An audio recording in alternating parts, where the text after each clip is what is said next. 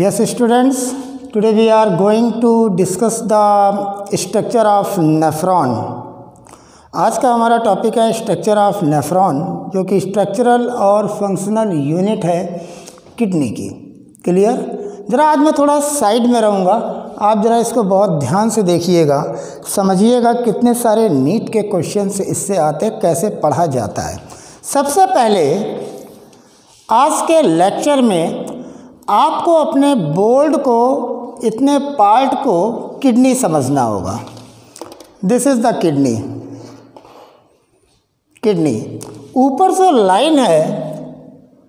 This is the capsule or you can say the outermost covering is called capsule which is made up of fibrous connective tissue we have already discuss in earlier lecture in the study lecture now इस board में capsules के नीचे cortex reason start होता है। तो cortex region यहाँ से लेकर जहाँ मेडोला लिखा हुआ है, उसके ऊपर का सारा रीजन तुम्हारा कॉल्टेक्स है। लिसन कैप्सूल, उसके नीचे का सारा रीजन जहाँ मेडोला हेडिंग पड़ी है, इतने बीच का सारा रीजन आपका कॉल्टेक्स है। Then rest is the medulla नीचे मेडुला है। ओके नाउ सबसे पहले समझते हैं, किडनी में डॉर्सल ऑरटा से एक सिंगल रीनल आर्टरी ब्लड लेकर आती है। यानी किडनी से, किडनी के लिए जो डॉर्सल ऑल्टा है, उससे एक renal, the branch of renal artery आती है। और वो रीनल आर्टरी, जो कल हम लोगों ने किडनी में कॉन्केविटी देखी थी हिलम, जो कहलाता था हिलम पार्ट, उस हिलम में ये आर्टरी इंटर होती है। इंटर होने के बाद ये पहुँचती है रीनल पैल्विस रीजन में, मेडुला पार्ट में, जहाँ पे वो ब्रांचिंग कर देती है। और ब्रांचिंग करने के बाद ये ब्रांचेस कहलाती हैं एफरेंट आर्ट्रियोल, और ये आर्ट्रियोल कॉलम ऑफ़ बर्तनी से पास होकर कॉल्टेक्स रीजन में पहुँचते हैं। सुनिएगा। किडनी से डॉर्सल एरोटा रीनल आर्टरी की सप्लाई करती है। रीनल आर्टरी हिलम वाले पार्ट से किडनी में इंटर करती है। बाद में मेडुला में पहुंचकर कॉलम ऑफ़ बर्तनी से फाइन ब्रांचेस निकालती है, जिनको कहते हैं एफरेंट आर्ट्रियोल। ये एफरेंट आर्ट्रियोल कॉल्ट्रेक्स रीजन में रन करते हैं और कॉल्ट्रेक्स रीजन में रन करते करते ये जो कॉल्ट्रेक्स रीजन में नेफ्रॉन का जो पहला पार्ट है, जो कि क्लोज एंड है, डबल वॉल्ड है, कप लाइक है, जिसको बोमेन कैप्सूल कह दिया जाता है, उसमें पहुँचती हैं और फिर वहाँ से बहुत सारी अपनी कैपलरीज डिवाइडेड कर देती हैं और ये कैपलरीज होती हैं इलाजमोलाइजिंग स्पेशल कैपलरीज इन कैपलरीज का बेड तैयार हो जाता है। ये बेड टफ्ट ऑफ़ कैपलरीज कहलाता है। कौन बनाती हैं? एफ्रोंट आर्टियोल जिनका लूमेन कैसा है बच्चों? वाइडर है। बाद में ये ब्लड दूर कैरी होता है इस टफ्ट से। और ये जाता है कैरी होकर इफरेंट आर्ट्रियोल में। मैंने कल भी बताया था कि किडनी में बच्चों, स्पेशल टाइप ऑफ़ अरेंजमेंट है। जो एफरेंट आर्ट्रियोल आ रहा है, बाकी जगह पर शरीर में जितनी रेस्ट दी जगह पर सप्लाई हो रही है, उसमें डायरेक्ट वेन में जाता है। लेकिन इसमें नहीं ऐसा है किडनी में स्पेशल टाइप ऑफ़ अरेंजमेंट है। एफरेंट आर्ट्रियोल डल्टी ब्लड लेकर आया। देखिए, मैंने एरो लगा दिया। कॉल्टेक्स रीजन में ही आप पढ़ रहे हैं, मैंने आपको बोर्ड पहले बताया था। ध्यान रखिएगा। इन्होंने कैपलरीज निकाली। इस कैपलरीज का टफ्ट तैयार हुआ और इस टफ्ट को कहते हैं glomerulus. The tuft of capillaries किसकी बनी होती हैं? कहाँ से निकलती हैं? फाइन ब्रांचेस कैपलरीज की। एफरेंट आर्ट्रियोल से। जो डल्टी ब्लड को कहाँ लाती हैं? इस कॉनकेव इस कॉनकेविटी में। किसकी कॉनकेविटी है? बोमेन कैप्सूल की। उसमें आकर क्या बना देती हैं? टफ्ट ऑफ़ कैपलरीज और उस टफ्ट ऑफ़ कैपलरीज को क्या कहते हैं? Glomerulus you got it my point तो ग्लोमी रूलस क्या है बच्चों? टफ्ट ऑफ़ कैपलरीज अब यहाँ से ब्लड लेकर ब्लड को दूर ले जाने का काम कौन करेगा? इफ्रेंट आर्ट्रियोल ये भी आर्ट्रियोल है, ये भी आर्ट्रियोल है। लेकिन ये इफ्रेंट है ये दूर ले जा रहा है बोमेन कैप्सूल से। ये बोमेन कैप्सूल की तरफ़ ला रहा है। ये इंपॉर्टेंट क्वेश्चन है नीट का। इसका लूमेन वाइडर है। इसका लूमेन नैरो है। ये क्वेश्चन है नीट का। जो टफ्ट ऑफ़ कैपलरीज बनती है, वो कहलाता है ग्लोमी रूलस देखिए मैंने यहाँ पे जी बना दिया इसलिए। जो टफ्ट ऑफ़ कैपलरीज बनती है, उसको कहते हैं ग्लोमी रूलस और बच्चों ग्लोमी रूलस और बोमेन कैप्सूल, ग्लोमी रूलस और ग्लोमी रूलर कैप्सूल या बोमेन कैप्सूल दोनों को प्लस कर दीजिए तो नेफ्रॉन का पहला पार्ट बनता है, जिसको आप कहते हैं मेल्फिगन कॉर्पसेल्स या रीनल कॉर्पसेल्स क्लियर हुआ? तो कॉर्टेक्स रीजन में क्या पाया जाता है? Nephron is the structural and functional unit of kidney. In each kidney about 1.2 million nephrons are present लेकिन अगर नॉलेज के लिए देखा जाए तो टू लाख नेफ्रॉन होते हैं in case of rabbit and about two thousand in case of the frog clear हुई? आगे चलते हैं। मैंने बताया कि ये जो टफ्ट बना हुआ है, इसको ग्लोमीरूलस कहा गया। और ग्लोमीरूलस और बोमेन कैप्सूल बोमेन कैप्सूल क्या है? Bowman capsule is the proximal closed part of the nephron देखिए, बंद है। Proximal closed part of the nephron which is double wall cup like structure.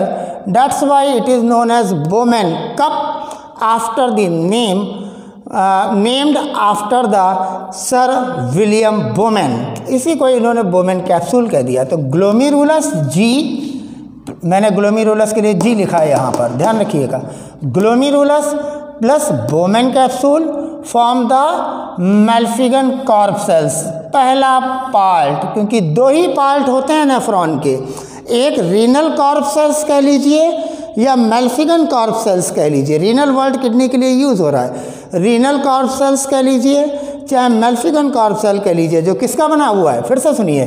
Glomerulus glomerulus क्या है? टफ्ट ऑफ़ कैपलरीज और Bowman capsule का जो पहला पार्ट है, जो क्लोज्ड पार्ट है, नेफ्रॉन का जो double walled cup like structure है, उसका बना होता है Malpighian Corp sales.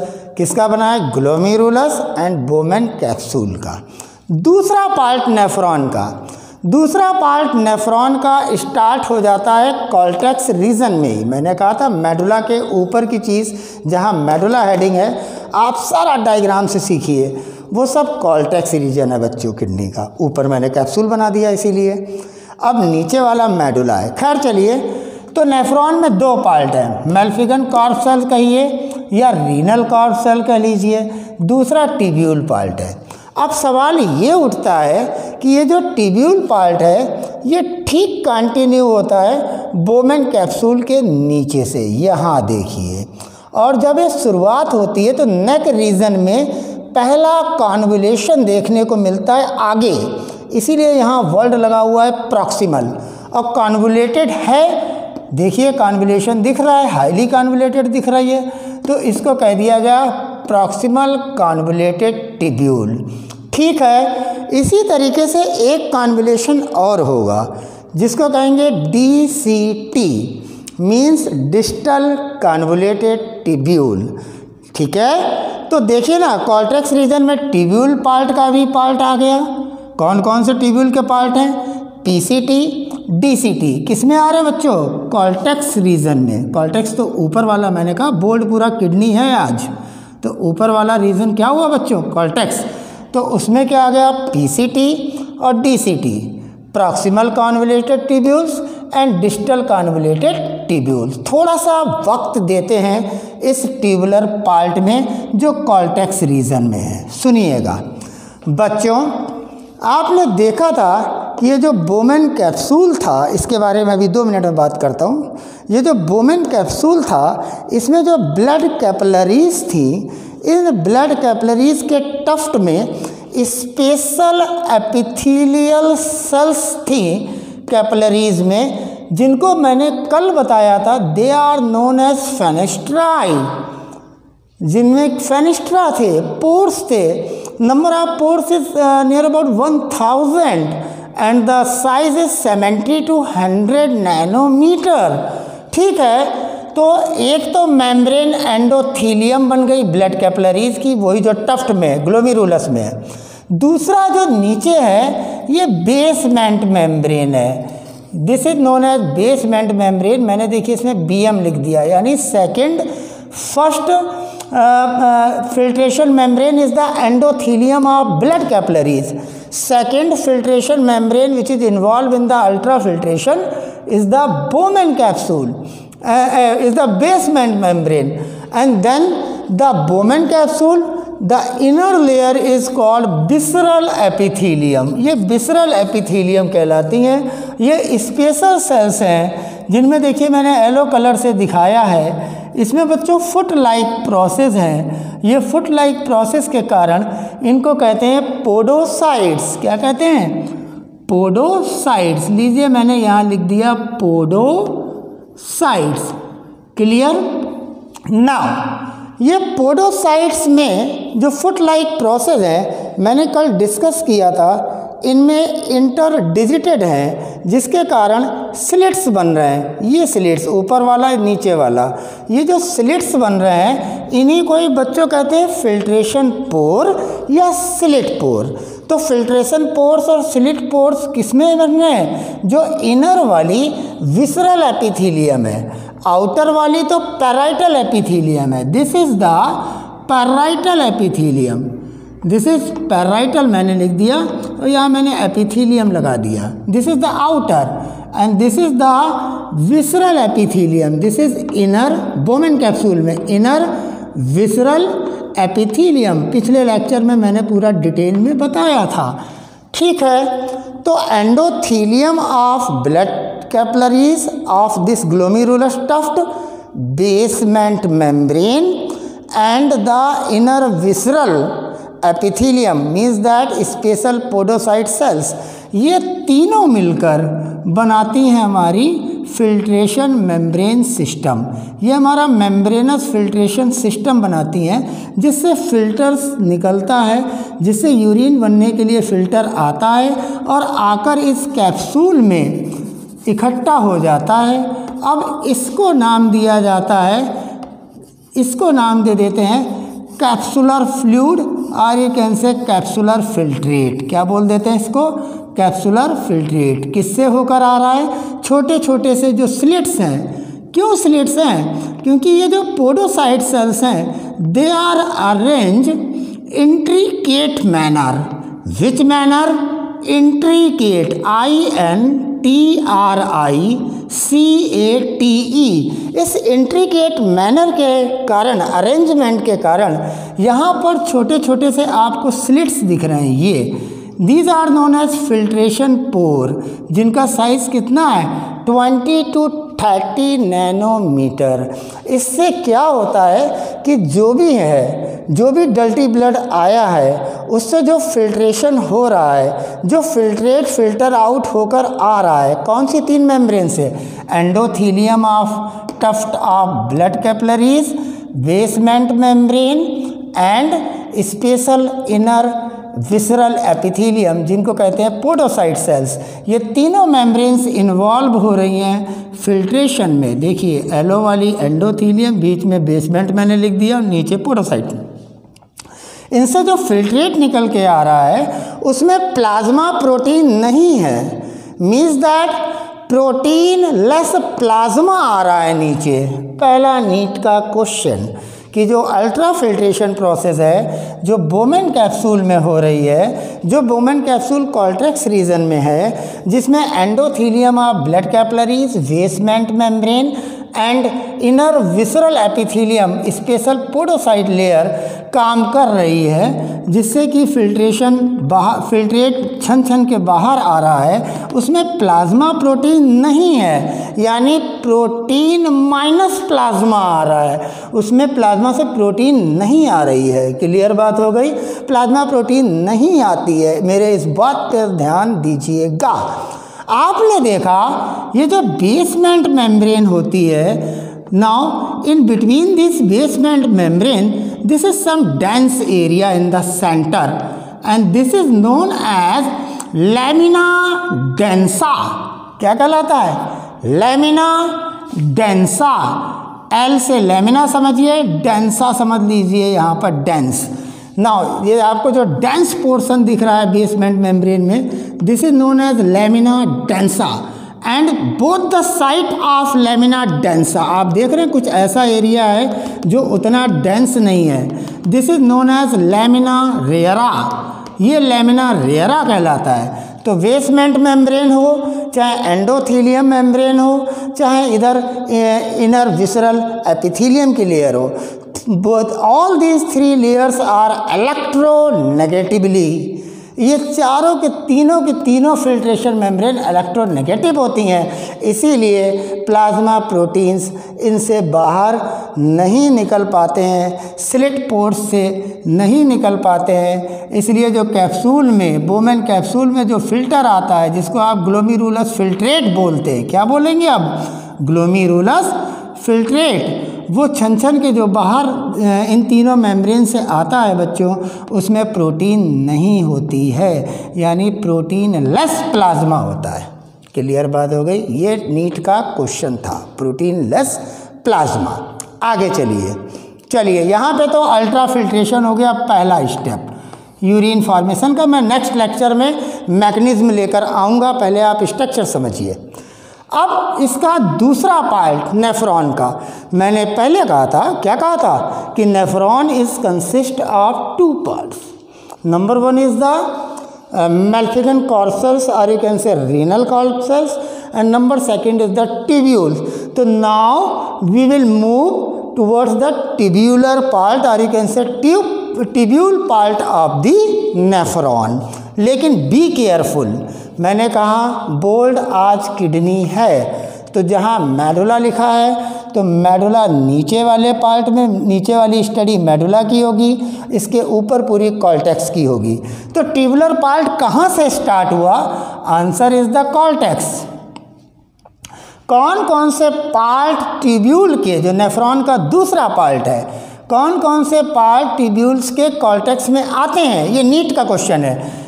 PCT proximal convoluted tubule DCT distal convoluted tubules PCT proximal convoluted tubules DCT distal convoluted tubules and Malpighian corpuscles क्योंकि ऑप्शन में इसको दिमाग से नहीं निकालोगे। इन तीनों पार्ट्स का मेल्फिगन कॉर्पसेल्स एंड ट्यूब्यूल का कौन कौन से पार्ट पीसीटी एंड डीसीटी अगर क्वेश्चन नीट में आता है ट्यूबुलर कौन कौन से part answer is PCT DCT और पूरे नेफ्रॉन के कौन कौन से पार्ट तब आप उसको मेल्फिगन कार्ड सेल्स को लीजिए रेनल कार्ड सेल्स को लीजिए। और बताइए कि Malpighian corpuscles or you can say renal corpuscles जो किसका बना हुआ है? Tuft of capillaries glomerulus plus Bowman capsule इन दोनों का बना हुआ है मेल्फिगन कार्ड सेल्स तो मेल्फिगन कार्ड सेल्स और renal corpuscles plus tubule के कौन से part PCT and DCT they are found in this cortex region this cortex region clear हुआ? आइए। अब थोड़ा सा नीट की बात करते हैं पीसीटी के बारे में पहले। सुनिएगा। दिस पीसीटी जो ये पीसीटी होती है बच्चों इसमें जो सेल्स होती हैं, उन सेल्स को कहते हैं सिंपल क्यूबाइडल सेल लेकिन ये ब्रश बॉर्डर्ड होती हैं, पहले पॉइंट कैसी सेल्स हैं? ब्रश बॉर्डल क्यूबाइडल सेल्स यानी simple cuboidal brush bordered cell brush borders क्यों इनमें ब्रशेस क्या है ये? ये बच्चों माइक्रोविलाई हैं। क्या है ये? माइक्रो विलाई हैं। और माइक्रो विलाई किस लिए होते हैं? To increase the surface area for reabsorption reabsorption के सरफेस एरिया को इंक्रीज करने के लिए माइक्रोविलाई पाए जाते हैं। और ये माइक्रोविलाई किस पार्ट में होते हैं? ट्यूब्यूल के, नेफ्रॉन के। तो अब आंसर होगा पीसीटी और कहीं ना देखिएगा पीसीटी पर ही मैंने बनाया तो यहीं पर दिमाग अपना रखिएगा। ठीक है? तो पीसीटी में tubular selective tubular reabsorption tubules में होता है। नेफ्रॉन के ट्यूब्यूल पार्ट्स में सेलेक्टिव ट्यूबुलर रीअब्जॉर्शन होता है। नेफ्रॉन के मेल्फिगन कॉर्प सेल्स वाले पार्ट में आपका अल्ट्रा फिल्ट्रेशन होता है। तो ये तो सेलेक्टिव ट्यूबुलर रीअब्जॉर्शन वाला फ़ंक्शन जो है सेकंड जो मैकेनिज्म होगी, जो मैं आपको कल पढ़ाऊँगा, उसमें देखेंगे कि जो पीसीटी होगी, वो कौन सी सेल्स की बनी होगी बच्चों? आंसर क्या होगा नीट का? सिंपल क्यूबॉइडल ब्रश बॉर्डर्ड क्यों होते हैं? To increase the surface area for the absorption clear हुआ? इस पीसीटी में आपको इस पॉइंट को याद रखने की ज़रूरत है। क्लियर हुआ? नाउ पीसीटी में जितने भी फिल्ट्रेट्स ये जो आता है ग्लोमिरुलस फिल्ट्रेट जो इकट्ठा हुआ है, जब ये पीसीटी से पास आउट होता है तो all the essential nutrients are reabsorb सारे एसेंशियल न्यूट्रिएंट रीअब्जॉर्ब हो जाएँगे.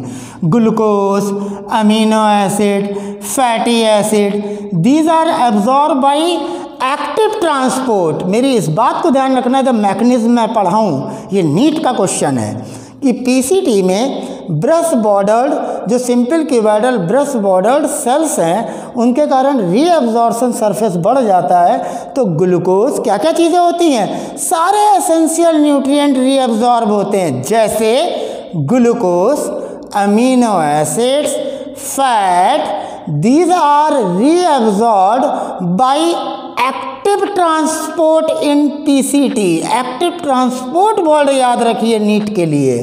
देन और क्या होता है?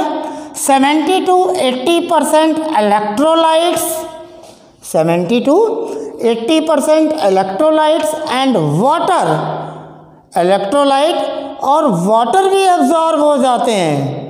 और वाटर और क्लोराइड का एब्जॉर्सन जो है बच्चों, वो पैसिवली होता है। कैसे होता है? पैसिवली इस बात को ध्यान रखिएगा कि पीसीटी में क्लोराइड आयन और वाटर का रीएब्जॉर्सन जो है पैसिवली होता है। ग्लूकोज अमीनो एसिड और फैट का रीएब्जॉर्सन जो है, वो एक्टिव ट्रांसपोर्ट से होता है। बस अभी इतना याद रखिए क्योंकि आज हम लोग स्ट्रक्चर पढ़ रहे हैं, कल काम आएगा। आगे चलते हैं। पीसीटी जो पीसीटी है, वो कंटिन्यू होता है ट्यूब्स के दूसरे पार्ट में, जिससे यूरिन जो फिल्ट्रेट है, वो फिल्ट्रेट नीचे की ओर जा रहा है। जब नीचे जा रहा है तो यानी मतलब डिसेंड हो रहा है। यानी ये जो लिम बन रहा है टिब्यूल का, अब इसको बच्चों को पढ़ा दो डिसेंडिंग लिम कितना सिंपल है? पीसीटी टिब्यूल का वो पार्ट जो फिल्ट्रेट को कहाँ छोड़ दे रहा है? डिसेंडिंग लिम में, क्योंकि नीचे की ओर जा रहा है तो डिसेंडिंग लिम। अगर फिल्ट्रेट जब ऊपर की ओर जाएगा डीसीटी की तरफ़ लेकर जो लिम्ब जा रहा होगा, वो असेंडिंग लिम्स तो पीसीटी से फिल्ट्रेट लेकर कौन आ रहा है?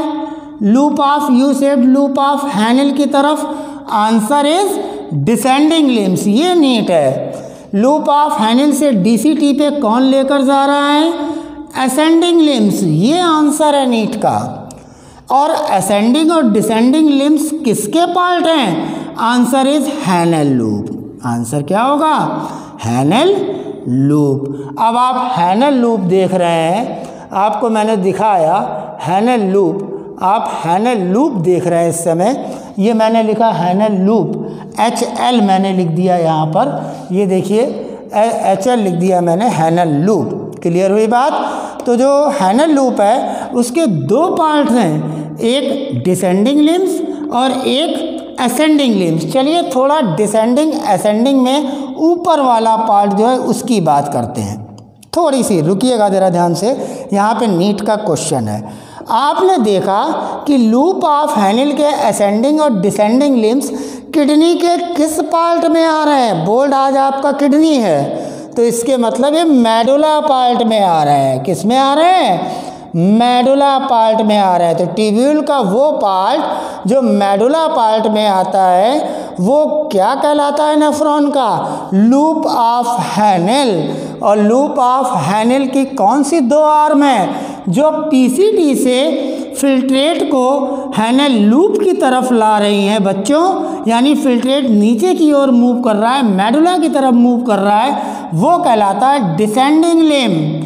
और जो लूप ऑफ़ हैनल से जो hair pin head like structure है यू शेप्ड है उस लूप ऑफ़ हैनल से फिल्ट्रेट को आगे ऊपर की ओर असेंड कर रहा है डीसीटी की तरफ़। वो बच्चों असेंडिंग लिम्स है। क्या है? असेंडिंग लिम्स क्लियर हुआ? अब यहाँ देखिए बच्चों, जो असेंडिंग लिम्स है, आपने देखा कि मैंने यहाँ की वॉल थिक बनाई। ये थिक सेगमेंट है असेंडिंग लिम्स का। फिर मैंने यहाँ पे डिसेंडिंग लिम्स का, फिर मैंने यहाँ पे ये थिन कर दी, यानी ये थिन सेगमेंट है डिसेंडिंग लिम्स का। क्या कारण है ये थिक है? क्या कारण है ये थिन है? अभी बाद में बात करते हैं, ज़रा देखिए। इसी तरह डिसेंडिंग के बाद असेंडिंग लिम्स में बच्चों देखिए। ये असेंडिंग लिम्स में ये वाला कॉलम ये थिक सेगमेंट है, और जो लूप ऑफ़ हैनल के पास में है, वो थिन सेगमेंट है। यानी लूप ऑफ़ हैनल के पास में जो लिम्स पार्ट होता है near to the loop of Henle is thin segmented और ये जो होता है थिक सेगमेंट होता है। इतनी बात आपने समझी। आपने देखा टिब्यूल का वो पार्ट जो मेडुला में आ रहा है वो हैनल लूप है। क्या है? हैनल लूप है। अब यहाँ पर सवाल आता है कि मेडुला में क्या क्या पार्ट आते हैं? तो आंसर क्या हो गया? लूप ऑफ़ हैनल यानी Henle loop collecting duct and duct of Bellini जैसे वहाँ Malpighian corpuscles PCT DCT in cortex उसी तरह नीट ने एक और क्वेश्चन पूछा कि मेडुला में क्या आता है? Answer is Henle loop collecting duct duct of Bellini this is the NEET question okay now बात करते हैं आपके थिक सेगमेंट की। बच्चों, जो थिक सेगमेंट चाहे डिसेंडिंग लिम्स का हो, चाहे असेंडिंग लिम्स का हो, आपने देखा इन सेल्स को मैंने बनाया cube like means that these are known as simple cuboidal cell मैंने केवल दो बना दी, ऐसे करके यहाँ बनी होंगी। ऐसे करके यहाँ बनी होंगी। क्लियर हो गई? इधर भी बनी होंगी। तो ये कौन सी सेल्स हैं? सिंपल क्यूबाइडल एपिथीलियम और आप जानते हैं क्यूबाइडल एपिथीलियम में जो न्यूक्लियस होता है, वो सेंटर में होता है। ये इसकी पहचान है। ताकि आप लेक्चर के बाद डायग्राम को देखें और आपके दिमाग में प्रिंट रहे जब आप नीट का पेपर दें। ठीक है? तो जो क्यूबाइडल सेल होंगी बच्चों, उनका न्यूक्लियस कहाँ होगा बेटो? सेंटर में होगा। तो ये सिंपल क्यूबाइडल सेल्स के क्या बने होते हैं बच्चों? थिक सेगमेंट किसके? डिसेंडिंग लिम्स के भी। और असेंडिंग लिम्स के भी। अगर कहते हैं डिसेंडिंग लिम्स किधर आती है, जो फिल्ट्रेट को लूप ऑफ़ हैनल की तरफ़ लाए डिसेंडिंग लिम्स जो फिल्ट्रेट को लूप ऑफ़ हैनल से डीसी ट्री की तरफ़ ले जाए असेंडिंग लिम्स और दोनों थिक सेगमेंट्स असेंडिंग और डिसेंडिंग और डिसेंडिंग और असेंडिंग कह लो, वो किस सेल के बच्चों बने होते हैं? This is the NEET question means that simple cuboidal, मैंने क्यूबाइडल का सी यू लिख दिया और आगे मैंने लिख दिया ई पी तो ये दोनों सिंपल क्यूबाइडल एपिथीलियम के बने होते और ये वाला क्या था? ये क्या था? ये तो क्यूबाइडल ब्रश बॉडल्ड था ताकि रीअब्जॉर्सन सरफेस बढ़ जाए। और यहाँ पे इंपॉर्टेंट चीज़ क्या थी कि glucose amino acid fat by active transport reabsorb हो रहा है और वाटर और क्लोराइड जो है वो पैसिवली रीअब्जॉर्ब हो रहा है और 70 से 80 परसेंट वाटर और सॉल्ट दोनों ही रीअब्जॉर्ब हो रहे हैं। यानी मतलब यहाँ तो आइसोटोनिक्स कंडीशन रहेगी, क्योंकि मैं वर्ल्ड यूज़ कर रहा हूँ 70 to 80 percent electrolyte and water तो 70 टू 80 दोनों के लिए लग गया ना? ठीक है, चलिए बात करूँगा कल मैकेनिज्म के समय। आगे चलता हूँ। आगे आप देख रहे हैं बच्चों कि ये जो नीचे थिन सेगमेंट है, जो लूप ऑफ़ हैनल के पास में आर्म है थिन सेगमेंट है, इसमें कौन सी सेल्स होती हैं? आपने देखा, मैंने सेल्स जो है फ्लैट रख दी, यानी टाइल्स की तरह बना दी। तो इनको आप कह सकते हैं दीज आर फ्लैट इसके मोजल सेल्स ये फ्लैट सेल्स हैं, क्योंकि पूरा नेफ्रॉन एपिथीलियल सेल्स का बना हुआ है और किडनी मीजोडर्मल इन ओरिजिन होती है। किडनी क्या है? मीजोडर्मल इन ओरिजिन होती है। चलिए आगे चलते हैं, देखते हैं और इधर देखिए, आगे। तो जो असेंडिंग लिम्स होता है बच्चों, उसमें कौन सी सेल होती हैं? उनमें होती है flat squamous cell squamous cells हैं फ्लैट हैं टाइल्स लाइक हैं. और फिर वो दोनों लिम्स के बीच में क्या चीज़ है जो आपस में कनेक्ट किए लिम्स को? वो है head hair pin head like structure that is Henle loop तो Henle loop collecting duct duct of Bellini किसका पार्ट है? नीट का क्वेश्चन मेडुला का पार्ट है. क्लियर हुआ? Now ascending and descending limbs में जो थिक सेगमेंट है, उसमें कौन सा एपिथीलियल है? सिंपल क्यूबाइडल एपिथीलियम किस चीज़ का क्वेश्चन है? नीट का क्वेश्चन है. क्लियर हुआ? पीसीटी में कौन सी सेल्स हैं? Cuboidal simple cuboidal brush bordered cell हैं। This is the NEET question okay now अब एक और चीज़ यहाँ ध्यान रखने की ज़रूरत है, जो मैं कल भी बताऊँगा, लेकिन आज भी समझिए। जो डिसेंडिंग लिम्स होता है it is permeable for water permeable for water लीजिए मैं यहाँ लिख दे रहा हूँ वाटर ठीक है? मैंने कहा था पूरा बोल्ड किडनी है। इसके मतलब फिल्ट्रेट से जो अंदर आ रहा है, उससे वाटर कहाँ आ गया? मेडुलरी इंटरस्टिशियल फ्लूड में। मेडुलरी मेडुला तो पूरा है जो लाइन के नीचे है। ये पूरा नेफ्रॉन का स्ट्रक्चर उसके बाहर की जगह क्या है? इंटरस्टिशियल तो मेडुला का जो इंटरस्टिशियल पार्ट है उसमें वाटर आ रहा है। क्यों? क्योंकि descending limbs is permeable to water impermeable to salt तो जब वाटर आ रहा है बाहर तो इसके मतलब जो फिल्ट्रेट है, जो डिसेंडिंग लिम्स में चल रहा है, उसका काम है to concentrate the urine to concentrate the filtrate word अभी यूज़ करूँगा। टू कंसनट्रेट द फिल्ट्रेट चलिए आगे चलते हैं। अब ये इसके अपोजिट होता है असेंडिंग लिम्स इसमें क्या होता है बच्चों? इसमें बच्चों साल्ट के लिए परमेबल होता है. Ascending limbs is permeable for salt impermeable for water descending limbs permeable for water impermeable for salt तो जब सॉल्ट बाहर ही नहीं आ रहा है, केवल वाटर आ रहा है, तभी तो डिसेंडिंग लिम्स में यूरिन कंसनट्रेटेड हो रही है. और जब ये असेंडिंग लिम्स में पहुँचेगा तो असेंडिंग लिम्स तो अपोजिट है. Impermeable to water and permeable to salt तो सॉल्ट निकल के आएँगे इंटरस्टिशियल फ्लूड में मेडलरी में मेडलरी इंटरस्टिशियल फ्लूड में। तो अंदर जो फिल्ट्रेट है, जब साल्ट बाहर निकलेंगे तो बच्चों क्या होगा? जो यूरिन होगी वाटर तो नहीं निकल रहा ना तो वाटर यहाँ पर नहीं निकल रहा है तो यूरिन जो डीसीटी की तरफ़ जा रही होगी, वो डाइल्यूट हो रही होगी। ये नीट का क्वेश्चन है। क्यों डाइल्यूट हो रही हुई कारण आपको पता लग गया।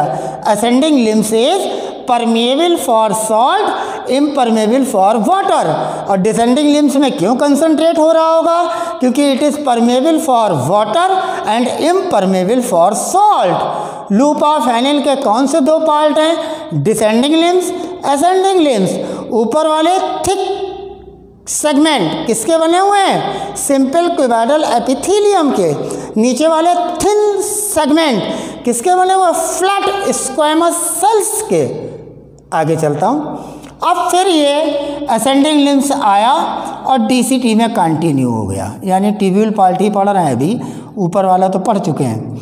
अब टिब्यूल पार्ट में जो ये डीसीटी है, यहाँ पर तुम्हें ध्यान रखना है कि डीसीटी पर जो सेलेक्टिव ट्यूबुलर रीअब्जॉर्सन होता है, उसको कहते हैं conditional tubular reabsorption conditional word को मैं कल बताऊँगा तुमको, लेकिन तुम्हें अभी याद रखना है कि the conditional reabsorption take place NEET का टॉप का क्वेश्चन कि the conditional reabsorption take place the answer is distal convoluted tubules जहाँ पर एल्डोस्टिरॉन हार्मोन्स के बारे में जानेंगे, जो एड्रिनल कॉल्टेक्स रीजन से सिक्रीट होगा, जिसका काम होगा सोडियम आयंस के रीअब्जॉर्शन को इंक्रीज करना। कंडीशनल होगा, कल बात करेंगे।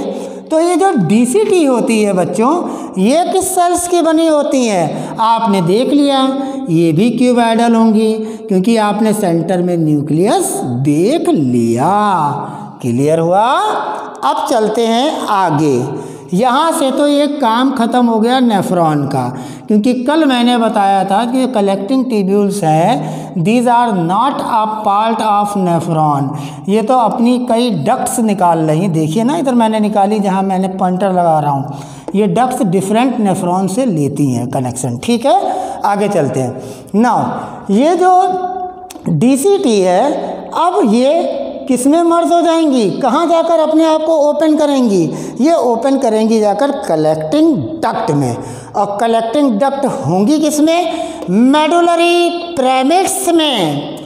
The collecting duct is the tubular part which are transverse are running with in the structure name NEET का क्वेश्चन मेडुलरी प्रेमिड अब ये कलेक्टिंग डक्ट नीचे आएँगी। ज़रा देखिए मैंने थोड़ा सा कैमरा मुझे नीचे करना होगा, मैंने कर दिया। देखिए, अब ये जो कलेक्टिंग डक्ट्स हैं ये नीचे आएँगी और नीचे आकर किसमें ओपन होंगी? डक्ट ऑफ़ बैलनी में मीन्स पैपिलरी डक्ट में। और फिर ये ओपन किसमें हो जाएँगी? रीनल पैलिस रीनल पैल्विस में। और रीनल पैल्विस में जब ओपन होंगी तो फिर किसमें आ जाएँगी? यूरेटर में। यूरेटर से यूनरी ब्लैडर में यूनरी ब्लैडर से यूरेथ्रा में then urine pass out clear बात हुई? यहाँ पर ध्यान देने की ज़रूरत है डीसीटी पर, जो डिजिटल कॉन्वुलेटेड जो कि कॉल्टेक्स के अंदर है, इसमें कंडीशनल रीअब्जॉर्सन हो रहा है। क्लियर बात हो गई? और जो कलेक्टिंग ट्यूब्यूल्स है, वहाँ से कुछ यूरिया भी रीअब्जॉर्ब होगा। क्या रीअब्जॉर्ब होगा? यूरिया। देख लीजिए साइड में। यूरिया भी रीअब्जॉर्ब होगा। कल आपको देखने को मिलेगा ताकि वो जो मेडुला का इंटरस्टिशियल फ्लूड है, उस फ्लूड की ऑस्मोलैरिटी को मेंटेन रख दे। To maintain the osmolarity of the interstitial which interstitial medulla region is we are having here na then the medullary interstitial fluid में osmolarity osmolarity मेंटेन करने के लिए कुछ यूरिया भी रिएब्जॉर्ब होगा कलेक्टिंग ट्यूब से और एक कलेक्टिंग ट्यूब्स ओपन कहाँ होंगी थिक थिकिंग होकर एक सेगमेंट में उसको कहेंगे डक्ट ऑफ़ बैलेनी जो कहा होंगी पेपलरी डक्ट फिर वो किसमें ओपन होंगी? रीनल पैल्विस में। और रीनल पैल्विस से बाहर क्या निकलता है? Ureter urinary bladder and then is the urethra तो आपने देखा this is the structure of the nephron with made up of two parts Malpighian corpuscles and tubule Malpighian corpuscles is made up of tuft of capillaries called glomerulus and then a double walled cup like structure Bowman capsule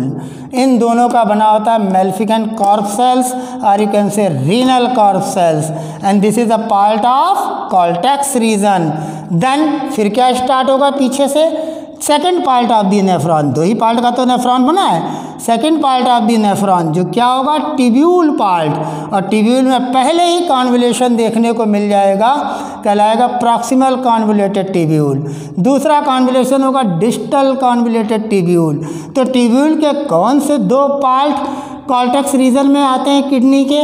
Answer is the PCT and DCT और अगर पूरे nephron की body में कौन कौन से पूरी nephron में पूछ ले तो आप इसको जोड़िए।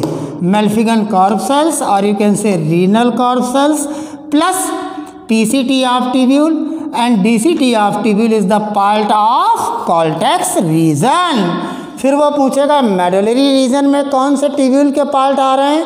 The answer is loop of Henle क्योंकि इसी के तो दो आर्म हैं। जो फिल्ट्रेट लूप ऑफ़ हैनल की तरफ़ ले जा रहा है, वो डिसेंडिंग लिम्स जो फिल्ट्रेट लूप ऑफ़ हैनल से दूर डीसी थ्री की तरफ़ ले जा रहा है असेंड कर रहा है फिल्ट्रेट को असेंड कर रहा है, ऊपर चढ़ा रहा है तो असेंडिंग लिम्स वो डीसीटी में पहुँचा देगा। और दोनों की खासियत क्या है कि डीसीटी जो होगा, जो डिसेंडिंग लिम्स है लूप ऑफ़ हैनल का it is permeable for water impermeable for salt इसलिए फिल्ट्रेट क्या होगा? जब वाटर ही बाहर निकल रहा है इंटरस्टिशियल मेटलरी इंटरस्टिशियल फ्लूड में, ये तो पूरे बोल्ड का हिस्सा इंटरस्टिशियल फ्लूड पड़ी है ना। जहाँ जहाँ पे बोल्ड का ब्राउन कलर आपको दिख रहा है। क्लियर हुआ? तो उसमें क्या जा रहा है? वाटर तो फिल्ट्रेट कैसा हो रहा? है कंसनट्रेट लेकिन असेंडिंग में उल्टा है। Ascending is permeable for salt ascending is permeable for salt impermeable for water तो यहाँ पर फिल्ट्रेट जब डीसीटी की तरफ़ जाएगा तो वो डाइल्यूट होगा, क्योंकि वाटर तो बाहर निकल ही नहीं रहा है। क्लियर हुआ? दूसरा, आपने सेल का देख लिया कि दोनों में असेंडिंग और डिसेंडिंग के थिक सेगमेंट में असेंडिंग लिंक्स और डिसेंडिंग लिंक के थिक सेगमेंट में सेंट्रल में न्यूक्लियस देखा, बता दिया सिंपल क्यूवाइडल एपिथीलियम यहाँ ब्रश बॉर्डर देखे पीसीटी में, बता दिया simple cuboidal brush bordered epithelium जिसके कारण रीअब्जॉर्शन बढ़ रहा है, जिसके कारण मैक्सिमम रीअब्जॉर्शन पीसीटी में हो रहा है। इन ब्रश बॉर्डर क्यूवाइडल एपिथीलियम के कारण पूरा नेफ्रॉन एपिथीलियम का बना हुआ है। आगे चलता हूँ। आगे देखिए। फिर मैंने एक रूट देखा था। अभी मैंने थोड़ी देर पहले आपसे बात की थी कि जो आपका किडनी होती है each kidney receive the renal artery from the dorsal aorta यानी मतलब अगर बोल्ड आपको दिख रहा है तो मैंने यहाँ पे लिख दिया डोर्सल ओरटा और डॉर्सल ओरटा से आया रीनल आर्टरी रीनल आर्टरी पहुँची कहाँ? मेडुला में। कहाँ से होते हुए पहुँची? हिलस से हिलस से, हिलस हिलस। जो कॉन्केविटी थी? ध्यान रखना। हिलस से पहुँची पेल्विस रीजन में। फिर आगे मेडुला में जाकर फाइन ब्रांचेस में बदल गई। और फाइन ब्रांचेस जो थी, वो कहाँ से? जो आपकी कॉल्ट्रेक्स रीजन एक्सटेंड था प्राइमेट के बीच में, जिनको कॉलम ऑफ़ बर्तनी बोल दिया गया था। उन कॉलम ऑफ़ बर्तनी से यही आर्ट्रियोल्स जाएँगे और यही आर्ट्रियोल्स जाकर क्या करेंगे? अब ऊपर आइए। यही आर्ट्रियोल्स जाएँगे और यही आर्ट्रियोल्स जाकर क्या करेंगे बच्चों? जाके कॉल्ट्रेक्स रीजन में एफरेंट आर्ट्रियोल्स निकलेंगे और किडनी के नेफ्रॉन के जो कप लाइक स्ट्रक्चर है, उसमें जाकर अपनी कैपलरीज का टफ्ट बना देंगे। उस टफ्ट को कहेंगे ग्लोमीरुलस तो ग्लोमीरुलस में एंडोथीलियम सेल जो कि फेनिस्ट्रा है वन वन थाउजेंड्स ओपनिंग्स हैं इनमें। वन थाउजेंड्स ओपनिंग है सेवेंटी टू हंड्रेड नैनोमीटर्स की डायमीटर की ओपनिंग्स हैं। और फिर बेसमेंट मेम्ब्रेन है, जिसका सेंट्रल पार्ट क्या है लेमिना डेंसा और लेमिना रेरा रेमला रेरा, ये इंटरनल लेमिना, रेरा, ये एक्सटर्नल लेमिना, रेरा, दोनों तरफ़ पाया जा रहा है, क्योंकि ये कैसे इलेक्ट्रॉन लूसेंट है। इलेक्ट्रॉन लूसेंट वर्ल्ड का मतलब होता है कि इलेक्ट्रॉन माइक्रोस्कोप से देखने पर बच्चों पता लग रहा है कि ये उतना डेंस नहीं है, लेकिन जो डेंसा लेमिना डेंसा जो है बेसमेंट मेम्ब्रेन का, वो डेंस है। और उसके नीचे तीसरी मेम्ब्रेनस कौन सी है जो फ़िल्टर में पार्ट ले रही है? इनर विसरल एपिथीलियम जिसमें स्पेशल सेल्स क्या है? फ़ूड प्रोसेस के कारण पोडोसाइड्स जो कैसी लगी हुई है? इंट्रीकेट मैनर में, जिसके कारण क्या बने हुए हैं? स्लिट पोर्स या फिल्ट्रेशन पोर और उनका कितना है? Size twenty to thirty.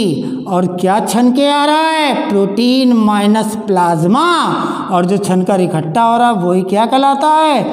वही कहलाता है बोमेन कैप्सूल में पाया जाने वाला ग्लोमीरुलस फिल्ट्रेट। और वही फिल्ट्रेट आगे जाएगा ट्यूब्यूल पार्ट में, second part of the nephron में, जहाँ पर उनका ट्यूबुलर सिक्रीशन ट्यूबुलर रीअब्जॉर्सन होगा सेलेक्टिव रीअब्जॉर्सन होगा, और फिर में आपका ट्यूबुलर सिक्रीशन होगा यूरिन बन जाएगी यूरिन पास आउट हो जाएगी। क्लियर बात हो गई?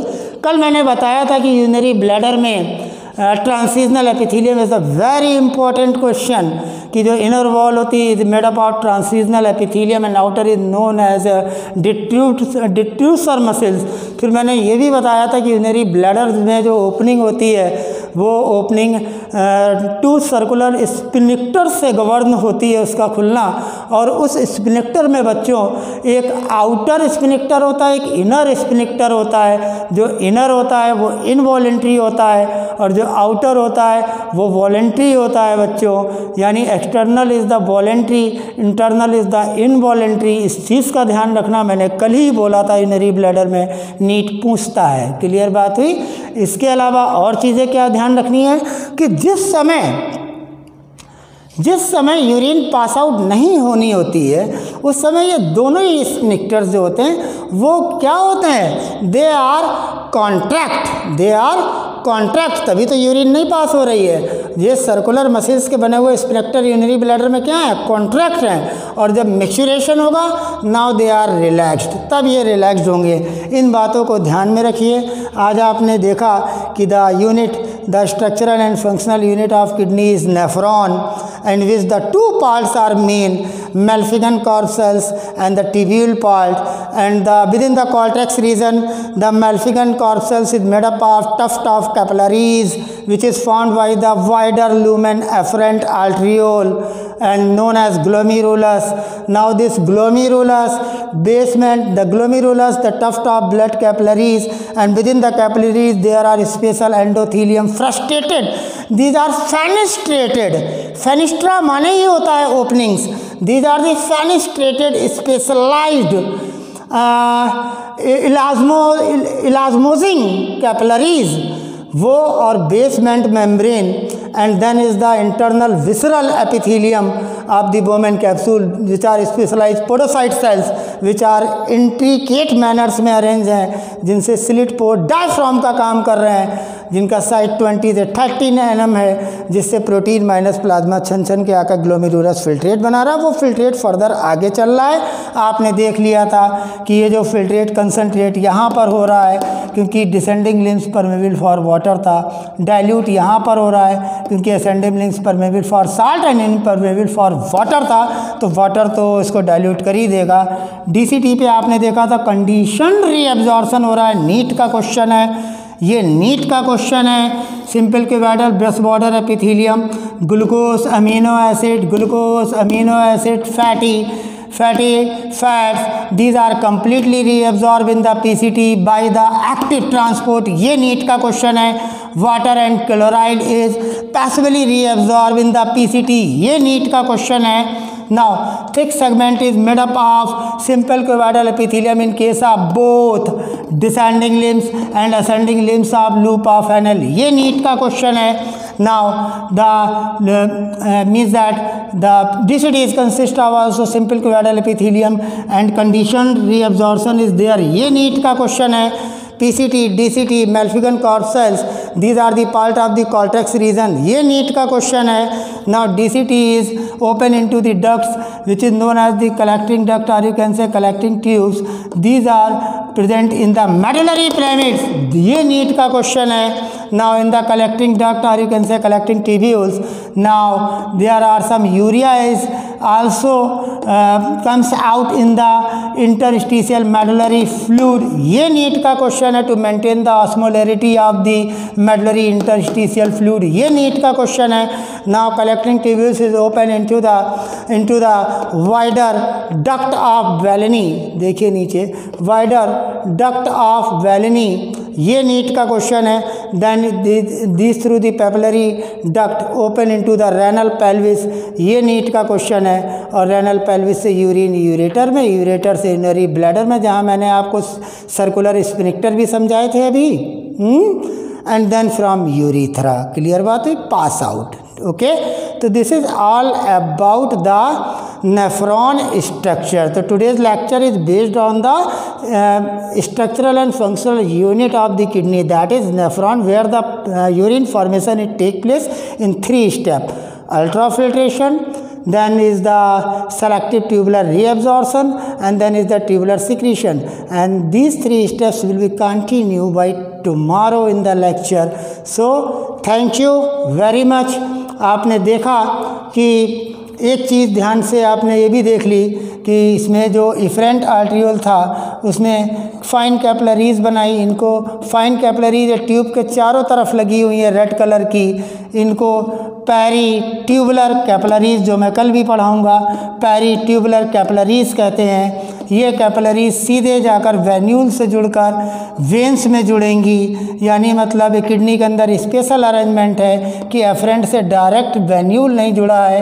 एफरेंट से ब्लड को टफ्ट से दूर ले जाने में इफरेंट आर्ट्रियोल है। They are further divided into branches called peritubular क्योंकि ट्यूब के किनारे रहेंगी चारों तरफ़। पैरी ट्यूबलर कैपलरीज और पैली ट्यूबलर कैपलरीज जो बच्चे होंगी, जब लूप ऑफ़ हैनल के पैरेलल में आएँगी। जो पैरेलल में होगा पैरी ट्यूबुलर कैपलरीज का पार्ट, जैसे ये पैरेलल में है इसके।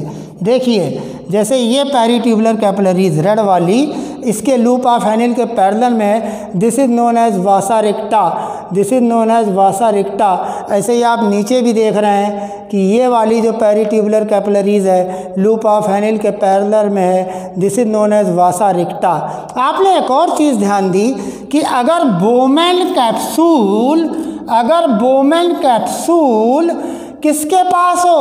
At the junction of cortex and medulla जैसे ये बना हुआ है।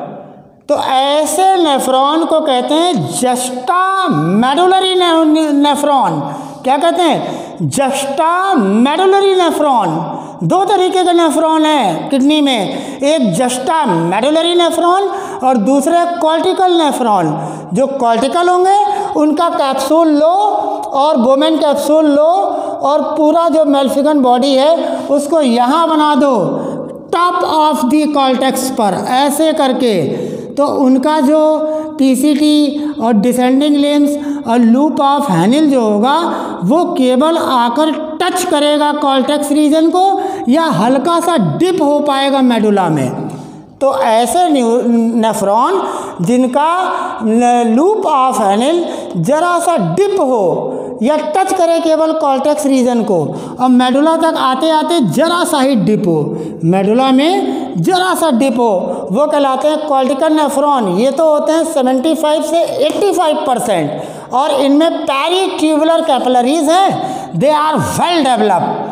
बस बासा रिक्ता, जो मैंने कहा था, peritubular capillaries which runs parallel to the loop of Henle is called vasa recta which help in maintaining the counter current mechanism and also help in making the urine four time concentrated than the initial filtrate. वो vasa recta इसमें cortical neurons में cortical nephrons में highly reduced होता है या absent होता है। लेकिन बच्चों, जो ये आपने स्टडी की, जिसका बोमेन कैप्सूल जो था, जिसका माल्फिगन कॉर्सल्स वाला पार्ट था, वो at the junction of cortex और मेडुला था। इसको कहते हैं, इस तरीके के नेफ्रॉन को कहते हैं जस्टा मेडुलरी नेफ्रॉन जो केवल 15 परसेंट होते हैं किडनी में। हैं लेकिन इनकी खासियत है कि इनका loop of Henle is run deeply and dip deeply in the inner medulla and vasa recta is well develop but in case of the cortical nephron vasa recta is absent और highly reduced this is the question vasa recta is highly reduced और absent in case of cortical nephron this is the NEET Now the vasa recta and loop of Henel is deeply penetrated deeply penetrated and deep in the medulla. This is the neat question. And peritubular capillaries, they are not well आपने देखा ज़्यादा मैंने इसको dense नहीं किया यानी juxtamedullary neuron nephron में juxta medullary nephron में peritubular peritubular capillaries जो होती हैं they are not much developed but in case of the this uh, uh, in case of the this uh, जिसका कि Bowman capsule कहाँ पे capsules के ठीक नीचे से स्टार्ट हुआ है। इसीलिए इसका जो लूप ऑफ़ एनिल है वो केवल डिप कर रहा है जरा सा मेडुला में। इसीलिए इसको नाम ही दे दिया गया कॉल्टिकल कॉल्टेक्स रीजन में ही एक्सटेंड ज़्यादा मेजर पोर्सन कर रहा है। ये 85 परसेंट लगभग होते हैं। क्लियर बात हुई? 15 परसेंट तो ये वाले जो आप स्टडी कर रहे थे जिनका मेल्फिगन कॉर्प सेल्स जो है वो border of the cortex medulla में था और loop of Henle deeply penetrated inside the medulla था। वासा रिक्टा वेल डेवलप था इसमें। इसमें वासा रिक्टा कॉर्टिकल नेफ्रॉन में जो वासा रिक्टा होता है इज़ एबसेंट और highly reduced and loop of Henle is just dip or you can say touch the medulla. So there are two type of the nephron within the kidney. Number one is the justa medullary nephron which is 15% in which peritubular capillary network is not very much developed but vasa recta is well developed and loop of Henle deeply dipped in the medulla part of the uh, kidney and second secondary neuron, secondary nephron, I am always saying that. Now, second, secondary uh, nephron, uh, Bowman uh, capsules, or you can say the Malpighian corpuscle cells is situated at the upper, just below the capsule, and the loop of Hanel, or you can say, is much reduced in size, and it only dipped in the medulla part. Vasa recta is absent or highly reduced in cortical nephron but percentage of cortical nephron is 75 to 85 percent and the percentage of presence of this juxta medullary nephron is about 15 percent कल भी इसको लेकर आऊँगा। आज आपने देखा कि क्या क्या चीज़ें होती हैं नेफ्रॉन के स्ट्रक्चर में। हर सेल्स को देखिए। हर जगह पे जहाँ मैंने नीट बोला है बार बार देखिए। नीट का एक क्वेश्चन इससे आता ही है। Thank you